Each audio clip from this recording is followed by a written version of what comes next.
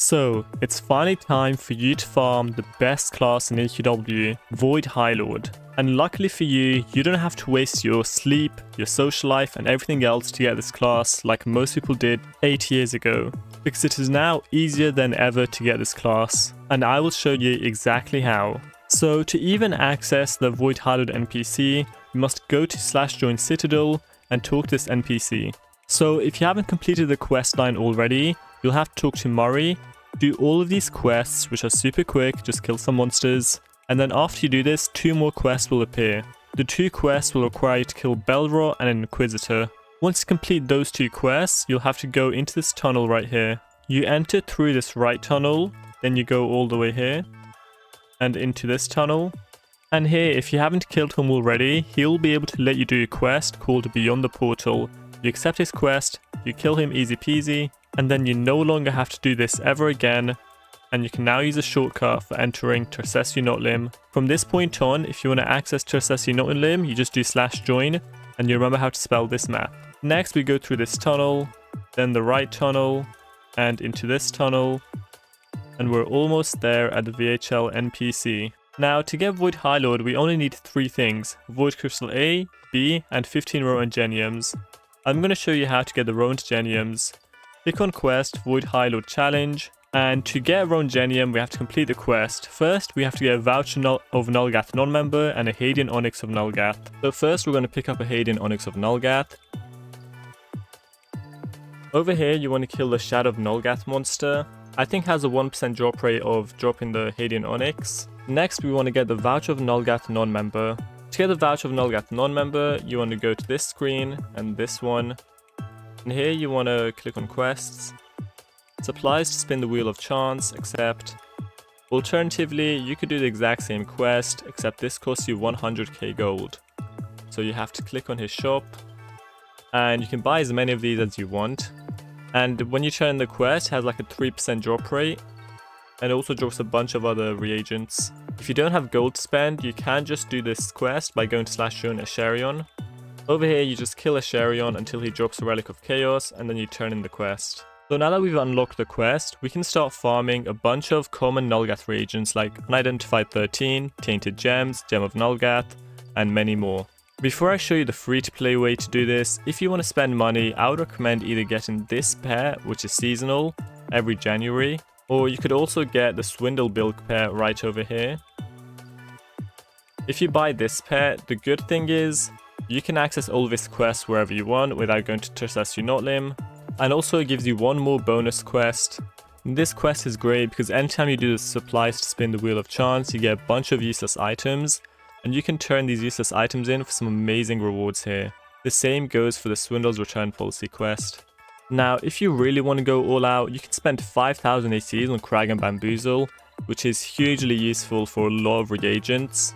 So if you decide to buy any of these pets, ignore my free to play options and just use your pet instead. Now, back to farming normally. So we're going to start off with the Black Knight Orb. You want to go to Map, and you want to go to Greenguard West. Over here, click on this map, and click on Black Knight. So you click on this NPC, click Quests, Hardly Suiting Armor, and you want to get all four of these pieces. First, you want to go to slash join well, and kill the Jello until he drops one of the pieces. Then you go to slash join Green Dragon, and you kill him until he drops one piece. Then you want to go to slash join Death Gazer, and you kill this until it drops. And next you want to go to the Basilisk at slash join Trunk. And once you have gone all the items, you can turn in, and we finally have the Black Knight Orb. Next, we're going to get some Elder's Blood. You can only get one per day, so make sure you don't forget to do it every day. You go to slash join Arcangrove. Here you go up into this portal, then this one, daily task, Elder's Blood. And then you just kill all the Gorillaphants in the area, and you can find two per room over here. Next, you want to get some Nulgath shaped chocolate, which you have to go to slash join Citadel. You click on the NPC, you click shop, Nulgath shaped chocolate for 2 mil coins. After that, we want to get an Aelita's emerald, you get this at slash join Yulgar. Here you go to Yulgar, click on his shops, weapon shop, Aelita's emerald, and it's completely free. Next, we're going to get 50 Essence of Nulgath. You go to slash to intercess. Here you want to kill the Makai as they drop Essence of Nulgath.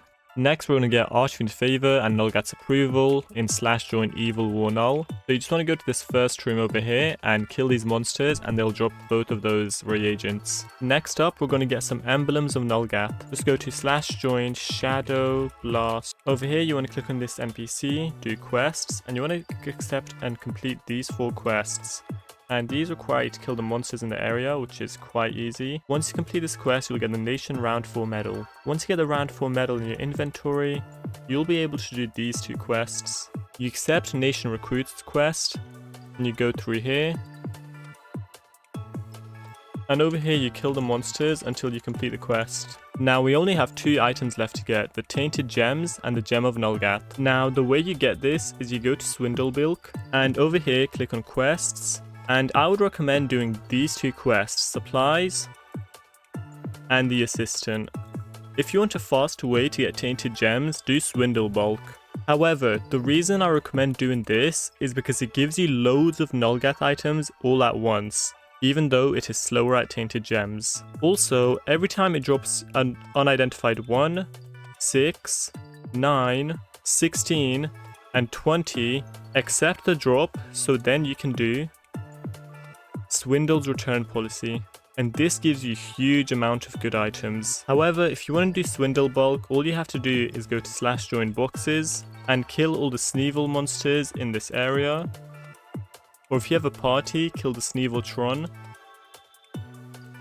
Or even kill these Sneevils here. And then to get the six ice cubes, you go to slash join Mount Frost. And over here, you just kill these monsters. As for the last two items in the quest, Unidentified 13 and Gem of Nulgath, you can either get these from spamming this quest, Supplies to Spin and the Assistant, or if you want to get them individually, you have to go to slash join Yulgar 9889. Now you must be in the Arctic server for this to work. These people are only here in the Arctic server. Over here you can access this pair. click on vouch item totem of Nulgath, and if you get 60 essence of Nulgath from killing Makai, you can get 10 gems of Nulgath. As for the unidentified 13, you want to click on this pair over here, Nulgath's Ruler of Misfortune, accept and go to slash join elemental, click on Great Mana Golem, and you want to kill this guy until he drops the item. And here you want to kill the Mana Falcon until you complete the quest. This has a 5% chance of dropping Unidentified 13 compared to Supplies to Spin the Wheel of Chance which only has a 1%. Now if you haven't done this already, you can get a one-time completely free Unidentified 13 and I'll show you how. So first of all you want to meet up with Nulgath and the way to access Nulgath is easier than ever. So I think you just go through the middle, you go through this long pathway and into here. The direction you have to take is middle, right, middle, right, right, left, left. There should be some rocks here to show you the way. I don't know why they're not here right now. So when you reach Nulgath for the first time, he'll basically give you a free unidentified 13 here just by speaking to him. By now you should be finished with this quest and turn it in. Once you complete this quest 15 times, you should have about 300 unidentified 10, but you only need 200 to make the VHL class. So if you have any spare unidentified 10, just use it in the Swindlebilk merge shop. Now there is one other way to get a Roentgenium and it is way easier than doing this quest. You have to go to slash join Ultra Nulgath. Now you must be level 80 to do this and you can only do it once a week. Click on weekly quest, accept this and once you kill Ultra Nulgath you'll get 5 insignia which you can use in the merge shop make two Roentgeniums. So this is way quicker, as it only takes about 5 minutes to kill Nulgath. And thankfully most people in public rooms now are pretty knowledgeable on how to kill an Ultra Boss, so if you need any help, uh, just ask the people around you. Once you get 15 Roentgeniums, you want to start farming Void Crystal A and B. For Void Crystal A, you should already have 200 unidentified 10 just from doing the Rowan Genium quest over here. It gives 20 unidentified 10 per turn in. As for the Gems of Nulgath, I already explained how to get that early in the video. However, instead of farming each one separately, I would recommend doing them together. Using these two quests, supplies to spin the Wheel of Chance, and assistant, you can mass farm a lot of the items you need like tainted gems, dark crystal shard, diamonds of Nulgath, and this is a lot faster than farming each one individually. So I'd recommend bulk farming using this quest, and also make sure to use this whenever you can, once you get these unidentified drops. But one thing you should remember is that if your Tainted Gems start ma maxing out and your Dark Crystal Shards are nowhere near, you can turn your Tainted Gems into Dark Crystal Shards. Go to slash join Dreadrock. Over here you want to talk to Entropy, click Quest, and accept a tainted deal. Over here you can turn 50 tainted gems into 5 dark crystal shards. Now to get Elder's Blood that's pretty easy, you just go to Arcangrove and do the daily quest. To get Totems of Nulgath, it's the exact same method as Gems of Nulgath. You just go to Yulgar 9889 and you accept Drygen's quest, which requires you to farm Essence of Nulgath. And finally, for Blood Gem of the Archfiend. You might be able to get a few just from mass farming all the other items, but if you still have some more left to get, I'd recommend going over to uh, Swindlebilk. And of course, if you have some spare unidentified 10 and receipts of Swindle, use this. But if you don't, then just do Bloody Chaos. To complete Bloody Chaos, you want to go to slash join Asharion. You just kill Asharion until he drops Asharion's helm. And to get the Shattered Legendary Sword of Dragon Control, you want to go to Chaos Lord Vath. You can just go to slash join Stalagbite and kill Vath over here. And over here, he drops the Shattered Legendary Sword of Dragon Control. You have to go to slash join Hydra Challenge, and the easiest one is level 25. There are loads of people farming this here, so it should be easy peasy to get. And this is the best way to get blood gems. And once you have enough blood gems, you can get Void Crystal B, A, and Void High Lord. This is my most used class in all my almost 10 years of AQW. Like the video and join the Discord link in description. Subscribe and see you guys next time.